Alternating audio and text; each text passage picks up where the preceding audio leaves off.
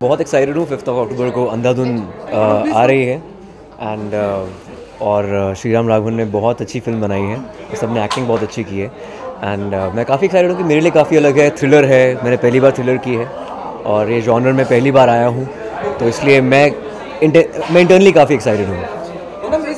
में ये पहली बार आए हैं और एक डिफरेंट लुक एक डिफरेंट अंदाज में आपने फिर से देख रही है। I am in love with him all over again so it's a new thing that he? Is portraying I बहुत एक्साइटमेंट है.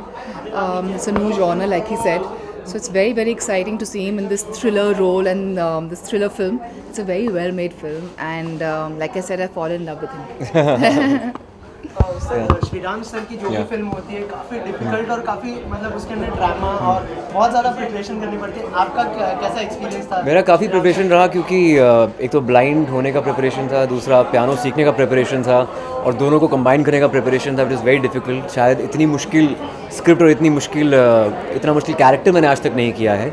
तीन महीने तक मैंने पियानो सीखा तीन महीने तक मैंने ब्लाइंड स्कूल विज़िट किया और एक ब्लाइंड पियानिस्ट से मिला और सब कुछ इनकॉपरेट किया फ़िल्म के अंदर। सर क्या मतलब आपने मतलब और ज़्यादा उनके बारे में सीखा और अगर उस बारे में कुछ बताया कि मतलब ब्लाइंड लोग कैसे मतलब देखे बिना भी उनको मतलब पढ़ते हैं लिखते हैं उस बारे में क्या सीखा आपने? आई थिंक ऑफ़ कोर्स वो ब्रेल उनकी एक लैंग्वेज होती है जो आप छूकर वर्ड्स देख सकते हैं। और हमारे देश में अब रिसेंटली ऐसा हुआ है कि लिफ्ट पे शायद ब्लाइंड लोगों के लिए थोड़ा फ्रेंडली चीज़ें हैं, या फिर पहले नहीं हुआ करता था। अब डिसेबल्ड फ्रेंडली हमारी कंट्री पहले से ज़्यादा हो गई है विच इज़ ग्रेट लेकिन ये फ़िल्म जो है, ये इतनी डार्क फ़िल्म नहीं है। ये एंटरटेनिंग फ़िल्म है, ये क्वर्की फ़िल्म है। फ़िल्म के हर सात मिनट में आपको कुछ एक्साइटिंग दिखने को मिलता है, कुछ थ्रिल मिलता है सस्पेंस मिलता है।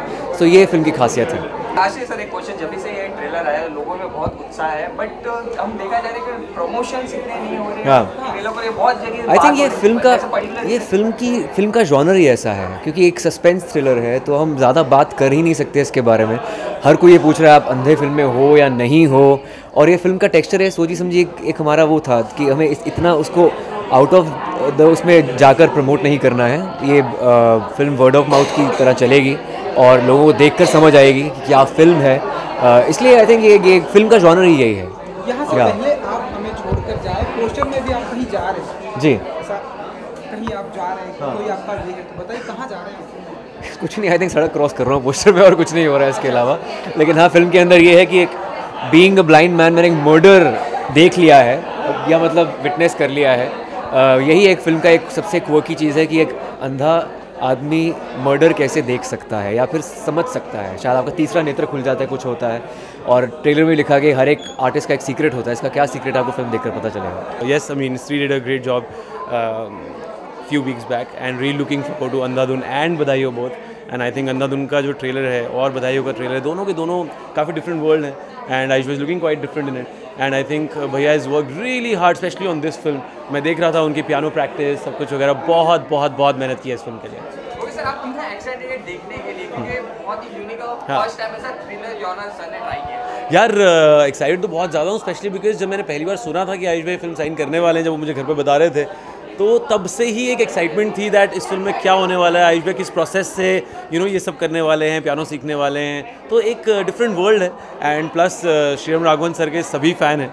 I think the kind of cinema is been doing is quite different from everyone else तो ऑलरेडी एक्साइटमेंट बनी जाती है। मैं बहुत ही ज़्यादा एक्साइटेड हूँ। फॉर स्टार्टर्स मैं श्रीराम सर की बहुत बड़ी फ़ैन हूँ। मुझे उनकी सारी फ़िल्में हद से ज़्यादा अच्छी लगी हैं। एंड सभी जानते हैं कि आयुष्मान मेरा बहुत ही क्लोज दोस्त है। मेरी लिटरली परिवार है आयुष्मान। एंड मेरा वन ऑफ़ फेवरेट एक्टर्स भी है। I love Tabu ma'am and I think Radhika is a phenomenal actor तो ये जो कोलेब्रेशन हुआ, ये इतना एक्साइटिंग है that I can't wait to watch the film